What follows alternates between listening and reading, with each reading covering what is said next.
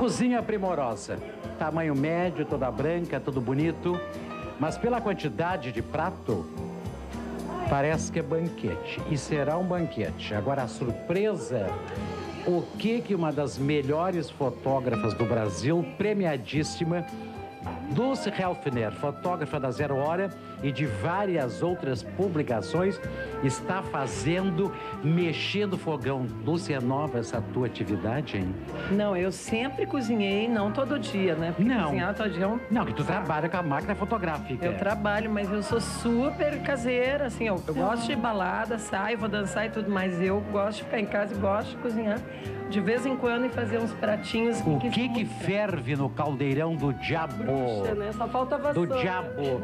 O que que é isso? Isso é um estrogonofe de peixe, que é uma- um prato que, como eu parei de comer carne vermelha há 18 anos, eu passei a Fez fazer bem, com peixe. fez bem, fez bem. Não, mas não é por causa da pele, é por causa dos bichinhos. Porque eu acho uma Tá. covardia matar uma ovelha, uma, uma vaca, Certo. caldo de ervilha árabe, Tá bom. temperadinha. Com tempero verde. Vira um caldo, tu cozinha Que bastante. maravilha. É árabe, é aquela diferente, ela é Perfeito. vermelhinha.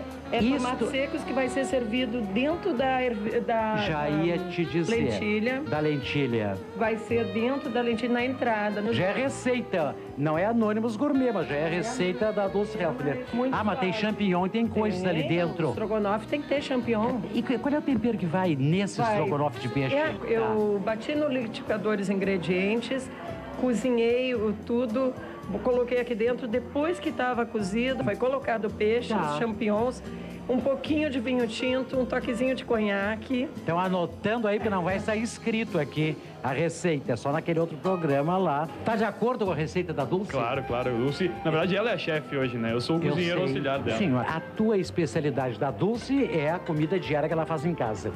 Vocês acreditam, hein, que ela faça diariamente isso? o, teu, o teu prato que tu manda perfeito, bonito, o que que é?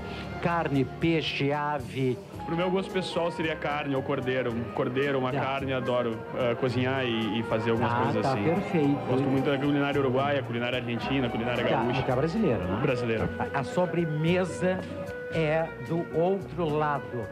Morangos, De ovos. tá? E os morangos, a gente, eu marinei no vinho do Porto. Aí eu digo, eu digo é moranguinho. Eu vou botar um caldinho assim, quente no vinho do Porto, É, dos morangos, tá. tá? E daí o cara vai comer... E o creme doce, o que, que é? O creme é a gemada, Tá. que daí tu vai cozinhando com o leite, faz a gemada, Tá, vai tá, colocando não, a leite. gemada. É um, é um creme de ovos. Eu tenho de mostrar a tua obra verdadeira pela qual ganhaste milhares de prêmios. Enquanto tu serve aqui, vão ver por que, que ela é famosa. Esse é o povo que deve estar salivando, que já é madrugada, está zero graus na rua. Eu não tirei o cachecol porque posso perder a voz. Aqui tem uma amostra de quem é Dulce Helfner.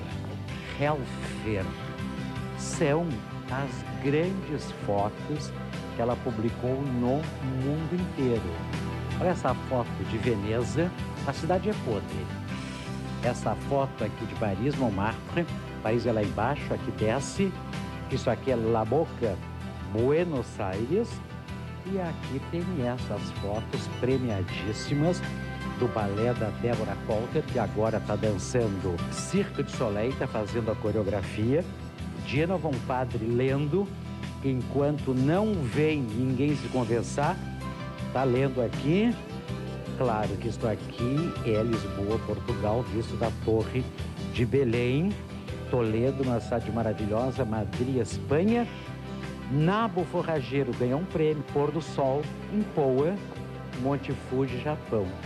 E o livro, que é o livro inteiro sobre Mário Quintana, fotografado pela Dulce Halfer.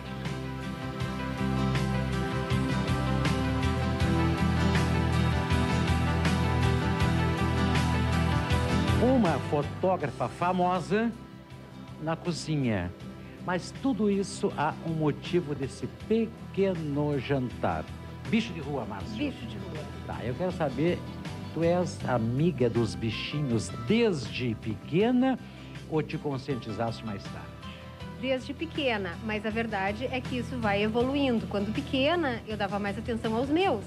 E depois eu Tá. percebi que a questão do bem-estar animal é muito mais ampla. Os animais têm direito também, né? Com certeza tem direito. E não tem ninguém que os defenda, eles não sabem se defender. Temos que ser a voz Aí, deles. exatamente. O projeto Bicho de Rua tem quatro objetivos bem claros. A adoção sem preconceito, porque não se adota só filhote, nem só animais de raça. Existem animais sem raça definida, existem animais adultos que precisam de casa. Animais de rua têm que ser esterilizados, tem que se conter esses nascimentos. Indiscutivelmente, claro. É a única forma não abandonar o projeto Bicho de Rua.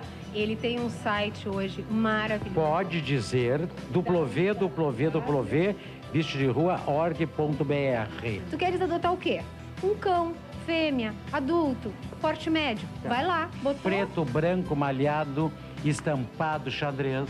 faz a pesquisa e o site te devolve as opções de adoção que tem. Isso tá bonito. Todas as convidadas e convidados hoje fazem parte do teu projeto, hein? Ou veio gente de conhecer o projeto? Na verdade, eu acho que tem pessoas que vieram para conhecer, tem pessoas do nosso mailing que são apoiadores, com essa atitude maravilhosa da Dulce. A gente já está num andar que não enxerga só gente, enxerga bicho, enxerga ar, enxerga água. Também, natureza então, nós somos toda. felizes por isso, porque Exato. a gente compartilha com esse povo bacana tudo isso. Ela veio dar uma entrevista, ela estava no meio da entrada, volta correndo para degustar doce Helfer. Com certeza. Um beijo e parabéns pelo projeto.